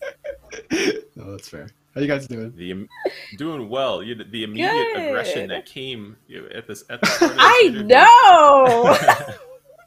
I clutched just my trying to give pearls. Did y'all see that? Anime the respect it deserves, okay? yes, yes. No, Listen, nothing but I vibes. love. Yeah, I love. I love anime. Have you ever heard of Escaflowne? Uh, no, so I'm the fake actually. I'm sorry. Hmm but Jordan, it's so great to have you on. I'm so excited. Thank you. Happy Yo, your vibe is so nice. Everybody's vibe has been nice, by the way. I know you guys are watching. I liked everybody's vibe, but your vibe is so nice. I just had Okay, to so throw I have that the out there. I want you vibe. to Got come in for me. Don't get me beat up, Jordan. Don't get me beat up. But can you tell us a little bit about yourself? Sure, sure. So um, I'm Jordan. Uh, I'm working on an action game called Arbiter. Um, I've been making. I'm 27. I've been making games uh, since I was like 17. I would say, uh, mostly just fan games. Uh, and then, so I guess I guess I made like I made a Dragon Ball fan game. I made a Pokemon fan game, and then I made a fan Okay. game based off of uh, an animated show called RWBY. And actually got hired for that one. So I worked on that for a bit and then we finished, and then I left, and now I'm here. I think I know RWBY. It was 3D animated, right? It was the girl with the yeah, red hair. yeah, yeah. Yep. See, I know stuff. anyway, You know more than I do. the game looks absolutely incredible, and I can see like some of the influence from from working on RWBY, like the the character design and things like that. Um, and it, it's it's beautiful. So one of my questions was, Thank you. how how did it feel going from making video games to to being hired on to do RWBY and now to be making this game? Uh, okay, so I, I will answer that. I will say something. uh, Derek, it'll probably help if you press, uh, I think it's R3 to lock on. Um, I forgot to put that in the little Oh, button prompt hey. thing. But there no, you I go. was, yeah. I was, okay. I was vibing. We're all good. okay, cool. Um, so how did I go from like uh, just working on my own stuff to working in uh, like a like a professional environment? Mm-hmm. Okay. Um, so it was it was fun. I mean, it was it was obviously jarring because you obviously you go from having like full creative control to like okay now you're with a team and you have people to answer to and you have deadlines and you have to do Right. things a certain way. Um, but it, it was it was good. It was you know it was effectively because I got I got hired like shortly after high school, so it it was effectively my like school because I was working with a lot of like professional people who knew a hell of a lot more than I did.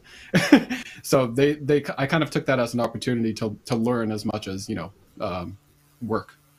So yeah, It looks so good. Like I can tell that they taught you Thank you. a lot. Not that you're not talented on your own because you absolutely are, but this this looks really good. I keep giving myself disclaimers. I don't know. You made me nervous after I didn't know what that anime poster was.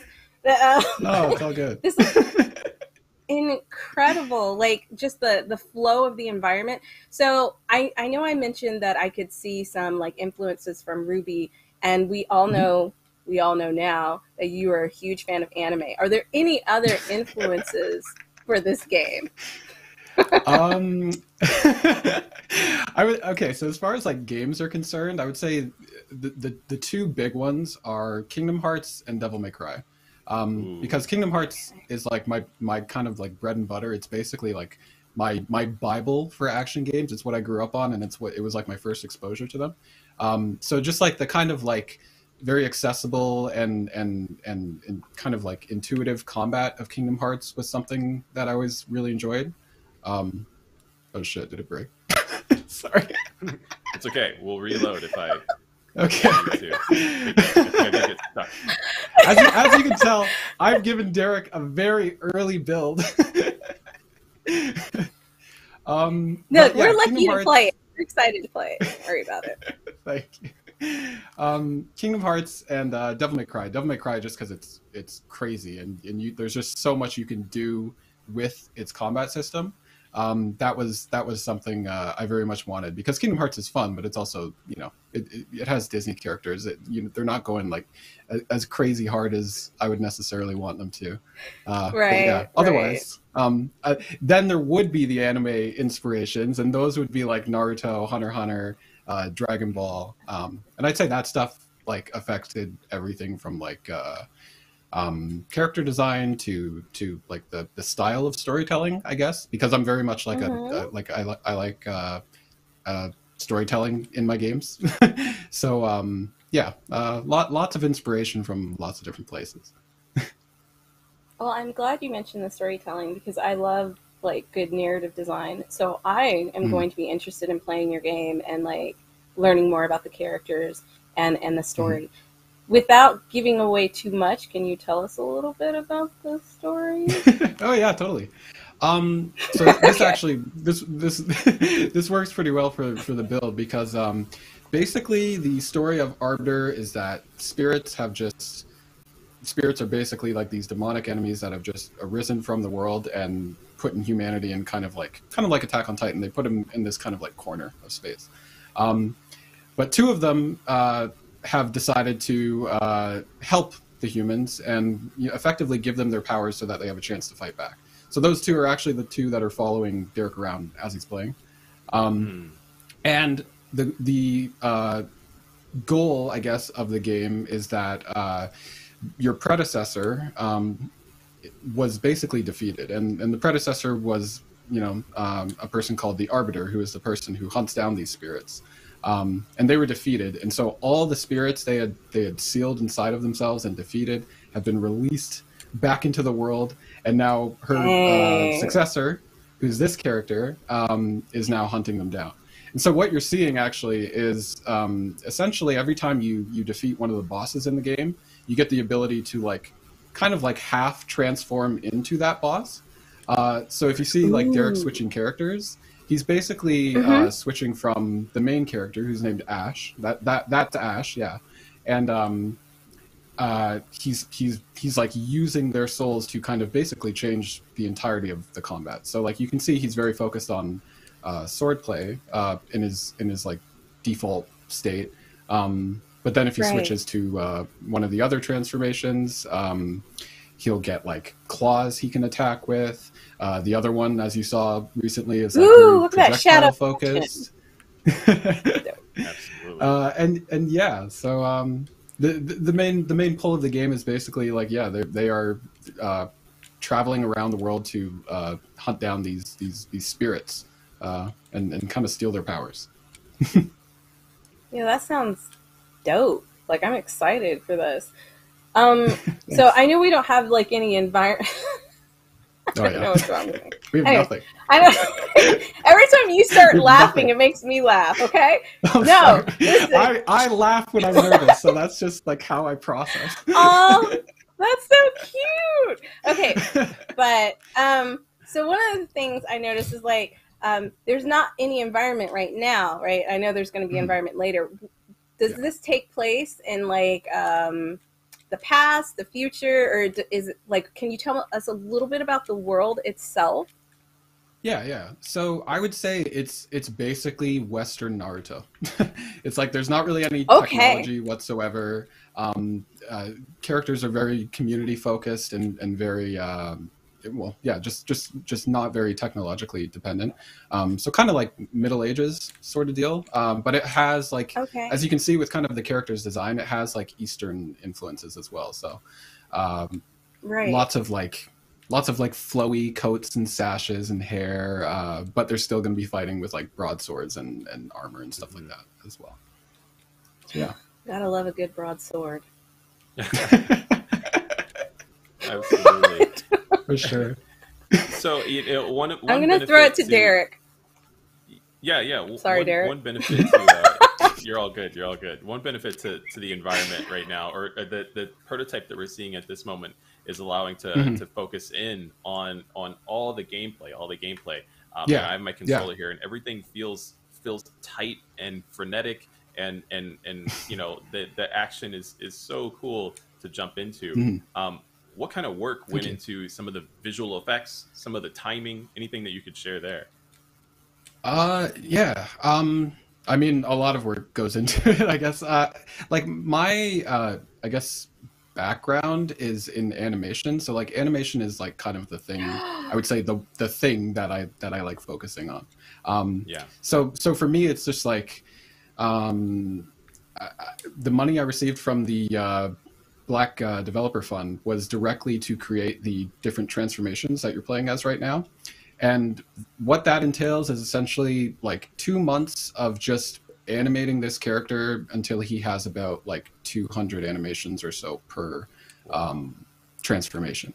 And so, from an animation perspective, that's kind of like what the workload looks like. Um, and then for, for effects and stuff, uh, as oh yeah, I, I totally forgot to mention, but the game has like a pretty central mechanic in its uh, light and dark form. So you actually have the ability to transform between your your light and dark powers. Um, and in in Derek's case, as he switches between them, he'll gain access to different uh, abilities, right? So um, for the uh, for the effects, I'm actually able to kind of reuse a lot of stuff, uh, like pretty consistently between the enemies and the character, because they're all kind of pu- pulling from the same power source, as, as it were. Um, and so, and so, from that perspective, it's not that bad. I would say the biggest thing, the big, the biggest amount of work would be animation, and then obviously environments because I haven't gotten to them yet. I mean, but you'll get there. No worries. You'll get yeah, for there. sure. And after people see you on this, you probably like, are you working on this by yourself, or do you have like a small team? Uh, I'm I'm pretty much working on it by myself. I will be hiring like an, an audio engineer, and I do work with uh, concept artists for for the characters and enemies. But otherwise, uh, yeah, pretty much all me. Yo, That's incredible. that's I, I, just. I know that came can out really slow. You just discovered what? Sorry. Uh, I just discovered that you Well, can like you. rapid fire switch between between dark and light modes, which adds just a new layer Oh, yeah. of gameplay, um, gameplay tactician. hmm Yeah, like I'm I'm a huge proponent of basically having all your tools available to you at all times. Um, so for me, like being able to just switch characters. Um, obviously, you can't do it right now, but eventually, I want to be able to like switch switch like transformations like mid combo very easily. Um, Yeah. But uh, being able to just switch characters, switch uh, between light and dark, switch between abilities, switch between ground and air, all of that, just just to give a very strong sense of, of control when you're playing. Uh, that's that stuff's very important to me. Man, the animation and the effects are so beautiful. Like I'm captivated, even without an environment. You know what I mean? No, this I'm serious. It, it looks really, really good. It makes me very that. excited for what's to come. Yeah. No. You could have like Thank you. blobs in the background. I'd be like, oh my god, it's so nice. That's really great. We, we only we, we do just have a little bit of time left, but I, I wanted to Mhm. give you an opportunity to to share with those who are also looking forward to this game. Where can they stay tapped in with it? Where can they find out more? Uh, so there's arbitergame.ca, which will give you a link to everything. Um, my Twitter handle is at Jordy underscore J underscore S. Um, and pretty much, yeah, Twitter and Twitter and Discord are like my places. So I will be giving tons of updates in there pretty regularly. So if you're interested, come check it out. I'm gonna Yeah, come. Absolutely. Are you are you going? We're all going. We're all going. We're we're gonna be there. Thanks. Oh man. Wow. That That was was incredible. that was dope to see. Yeah, like he's basically just doing that by himself. But um guys, uh we have some more trailers to show you. Um and I know you're going to be really excited to see some of them.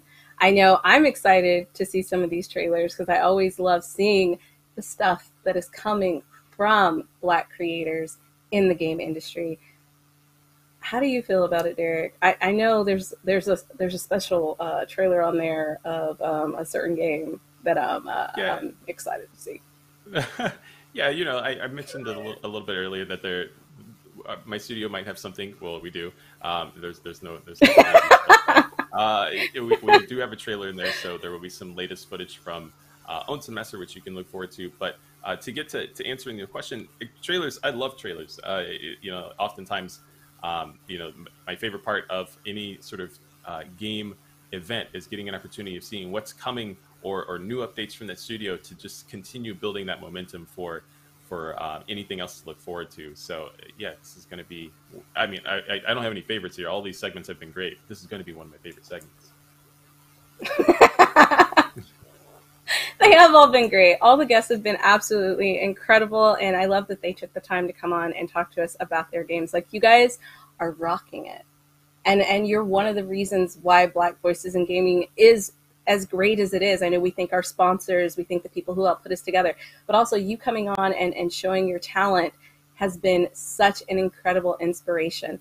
Uh, for people who want to get into the game space, for, for kids who might find us on YouTube, like seeing other people that look like you doing amazing things in the space that you want to be doing things in is so powerful, so very, very important. So, big ups to you. Congratulations on all the work that you've done so far. It's all been beautiful. And that goes for past guests and future guests. Like, I'm excited to see what else we're going to be showing. And I'm excited to meet more incredible people. Like, it brings a tear to my eye. I don't want to be like all emotional and stuff. So I'm not going to be, gonna- but it does make me really say, happy. Are you gonna cry? Are you gonna cry on stream? No, no, no. You know, I ain't gonna cry. I'm fine. I'm tough. What? It, would- it, it would it would be it would it would it would uh it, it would be dissimilar to me crying on on Burnout Brighter podcast Burnout Brighter podcast. So yeah, if you go back and you listen to the I episode you that was said featured in, uh, burn I out did- brighter head. oh no, I, know. that's, a, that's, That's a, not what that's a completely that's a completely different podcast. Anyways, the point I'm sorry, being, guys. That was a blooper. the point being, there would be some there would be some great clips from the from the blooper reel. No, I, I was saying yeah. If you want, if you do go back and you check out that episode, yeah, I, I do uh, break down uh, after having answered an emotional, an emotionally uh, evocative question. Um, so there you go. I didn't ask that question, so I don't know what he's talking about. But um, Uh, but honestly, with everything that's been going on, and and we're gonna touch base on it a little bit. Like, um, let's just be real honest. Um, the the shooting in Buffalo, the the continued um, racial profiling and, and, and issues that we're having, not just in America but around the world, have made this a very tough time for for everyone. So having Black voices in gaming come on is is just such a bright spot. And there are people who don't understand it. Like I, i've seen some comments like oh like this just continues the divide but it really doesn't. It's just showcasing us and it's us supporting us and i think that's important. Um, we have to support each other and that is what black voices in gaming is about. Would you agree derek? Uh, hundred percent. There isn't anything that you said that I that that that it is to be argued, at least from this seat here. Um, it's we are we are better when we're capable of, of building together and capable of showing the things that we're interested in building. So uh, being allowed to join Black Voices in Gaming and, and be able to talk with all of these uh, developers and content creators uh, shows that there is value for these games and podcasts and and any other content in between uh, to be um, that, that there's a community ready to receive it. And there is. I mean, and I just want to point out, it's not just been like, oh, okay, guys, ready for the trailers. Trailers are ready. Let's get it rolling.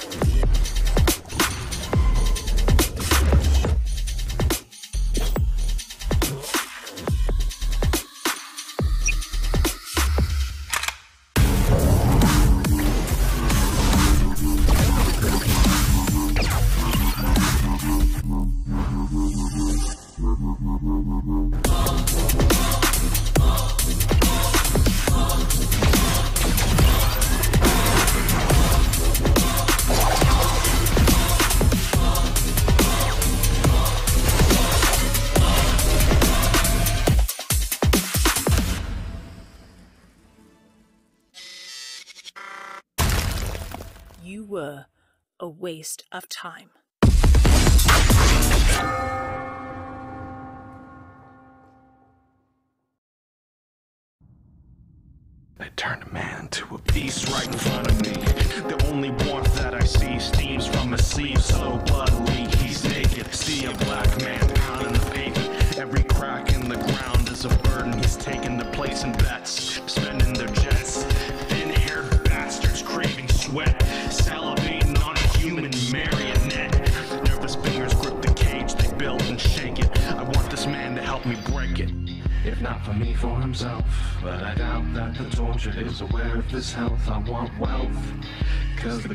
The goal of this age is to be the pattern evil out there rattling the cage. I want help.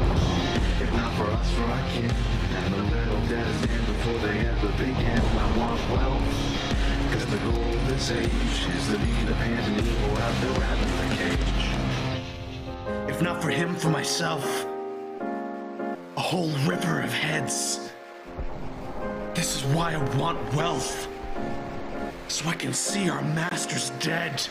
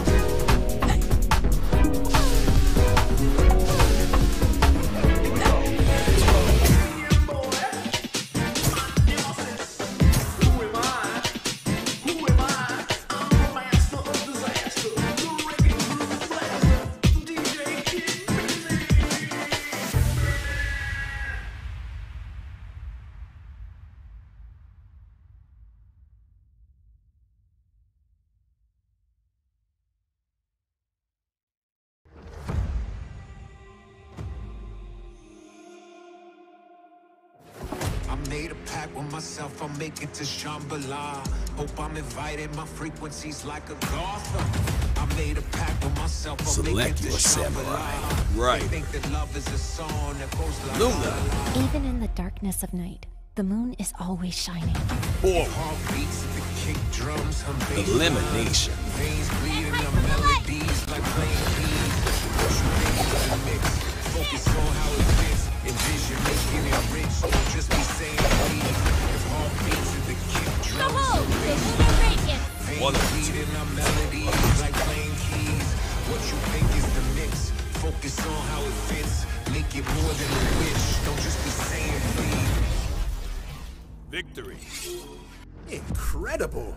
Oh, stop. Wait, jump from the top rope. Did it to him.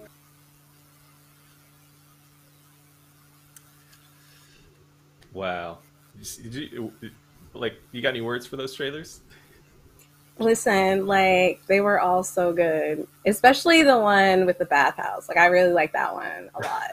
but all of them were really, really incredible. Like I love that we had a chance to show all of them, and I hope you guys are interested in uh, playing some of those games. And if you are, make sure you wishlist them. Absolutely. Yeah, that was Onsen Master, Grid Force, El Paso Elsewhere, BPM Boy, and Samurai Zero for you all to check out. Um, we are getting to the end of our show. And so, as we come to the end of Black Voices in Gaming, we want to acknowledge those whose lives have been lost in the acts of violence towards the Black community. Our hearts go out to the families and friends who's of those who of those affected by the devastating Buffalo, New York shooting. Tragedies like these continue to darken and threaten our peace, but we will continue to push forward, fight, and create places for ourselves in this world. We have a right to be here, be seen, and heard. Black Voices in Gaming continues to create safe spaces and opportunities for those who wish to be in the industry. It's been the theme of the show. We've been talking about this throughout. That's right. Thank you so much, Derek. You're absolutely right. We've had some great guests today, but we couldn't end it without taking a moment to highlight why having this show during June was such a fantastic feat. June has always been summertime kickoff vibes for me, yet it's also a time of celebration in the African American community. Juneteenth is a federal holiday celebrating the emancipation of enslaved people years after the Civil War on June 19, 1886. Being here on today's showcase, highlighting some of the industry's most talented voices in gaming, is an incredible accomplishment. We're all very proud to be a part of it. That being said, we would also like to thank our partners before we end. A shout out to those who helped make this event Raw Fury, PlayStation, ID at Xbox, Intel Game Dev Boost, Razer. We'd also like to say thank you to our team, Wilmer Sound, the Mix team, and Media One, our broadcasting partners, Twitch Gaming, IGN, Steam, and GameSpot. Also, we would like to thank you for joining us and for all of the devs for coming on and showing their special wares. We've also got merch available if you guys are interested. It's available at our roboroba.gg slash the mix. So go out there, support us, and Get the merch. Get the merch. get the merch. And wish list the games. Yes, wishlist. Can't say that enough. Wishlist helps game devs. And speaking of, the Mix has an event page on Steam to learn more about Black Voices in gaming titles. Buy the available games or add them to your wish list. Again, they help the devs a ton. If you'd like to keep up with the Black Voices in Gaming family, you can follow Black Voices in Gaming at BVI Gaming on Twitter and check out the games at blackvoicesingaming.org. You can also follow the Mix on Instagram, on Twitch at Media Indie Exchange, and on Twitter at at Indie Exchange. Um, I that, that's like the end of our show. That's all we have. That is that is Um, that is pretty much the end of our show. But do you want to plug Yeah. your socials again so people can follow you? Yeah, but before I do that, I have to I have to thank thank you, Des, for the time that I've got to share with you today. Thank all the developers Bruh. and and content creators who have joined us. Uh, to thank the mix, thank Justin and everybody who has helped pull this show together.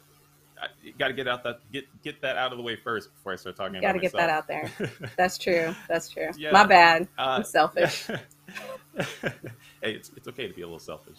Um, you know, if, if you want to keep up with me, if you want to keep up with Onsen Master, uh, you can find me at Derek V Fields on social media. You can follow up with the games at Waking Oni Games, uh, and that's across the board. So uh, yeah, keep tabs on me there. All right. Well, it's been an absolute pleasure sharing hosting duties with you, Derek. I cannot wait to work with you more in the future.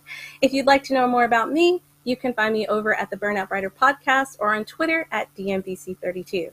Stay tuned for a quick message from Justin about our upcoming events and news, and we will see you all in the next showcase. Deuces. Bye. Thank you so much, Derek and Destiny. You guys are so amazing. We also want to thank you for coming through and checking out Black Voice in Gaming. You can check out the folks who are a part of the BVIG community at blackvoiceandgaming.org and on social media at BVI Gaming. We will have more events and showcases soon, as well as announcements for our BVIG nonprofit program and accelerator. Please support the Des by following them on their socials, wish listing, pre ordering, and buying their games faux show. Stay tuned later this week because we will be hitting you with the Guerrilla Collective 3 on Saturday, June 11th at 8 a.m. PST, 11 a.m. EST. And we're dropping another bomb with the Guerrilla Collective 3.5 on Monday, June 13th at 1 p.m. PST and 4 p.m. EST. Yes. Thanks for joining us. We will see you soon. Again, this is Justin Woodward. We're out.